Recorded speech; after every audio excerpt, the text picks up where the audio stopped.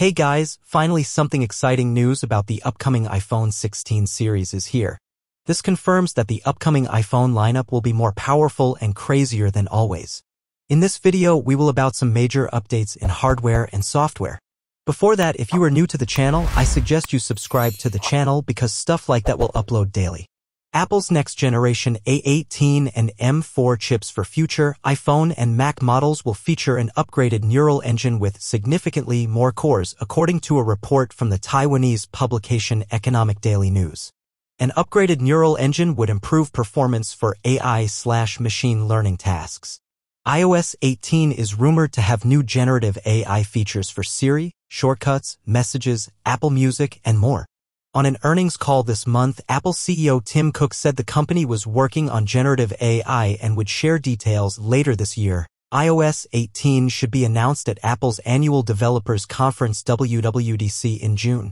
A18 series chips are expected to debut in iPhone 16 models in September.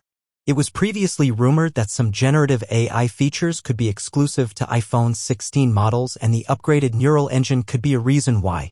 Here is Neural Engine history for iPhones. 2-core Neural Engine in the iPhone 8, iPhone 8 Plus, and iPhone 10. 8-core Neural Engine in the iPhone XS, iPhone XS Max, and iPhone XR.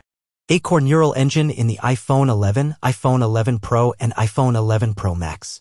16-core Neural Engine in all iPhone 12 models. 16-core Neural Engine in all iPhone 13 models. 16-core neural engine in all iPhone 14 models. 16-core neural engine in all iPhone 15 models.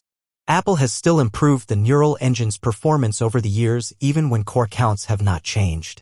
For example, Apple says the iPhone 15 Pro's A17 Pro chip has up to a 2x faster neural engine compared to the one in the iPhone 14 Pro.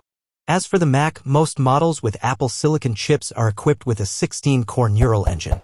The only exceptions are the Mac Studio and the Mac Pro, which feature a 32-core neural engine when configured with an M1 Ultra or M2 Ultra chip. The first Macs with an M4 chip would likely be released in late 2024 or early 2025.